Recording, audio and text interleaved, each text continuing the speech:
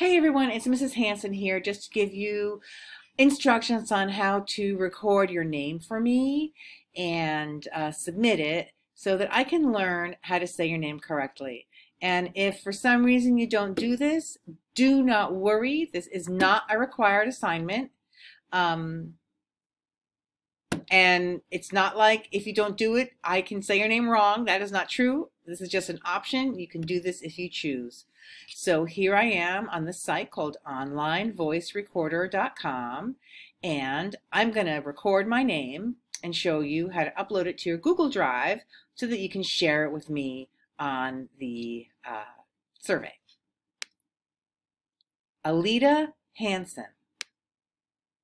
So there it is. Let me listen to it.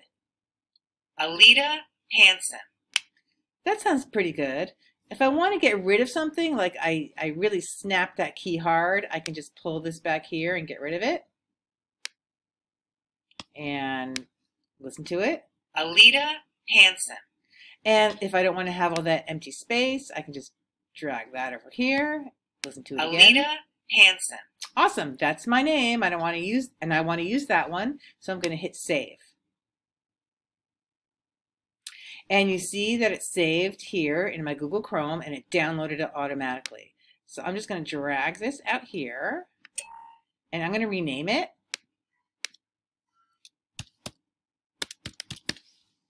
And then I'm going to drag this into my audio file folder in my Google Drive. So I'm going to go up to my Google Drive and I'm going to find my, I made an audio file folder.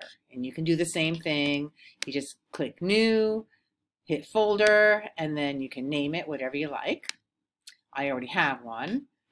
So I'm going to open it up, double click, and then I'm just going to drag it in here. And there it is. And I can go here, and to share it with me, click the share button and copy the link, bam, and that's what you will put into the Google form, okay? So give it a try if you like. If this is not interesting to you, don't worry, you don't need to do it, okay? Thanks.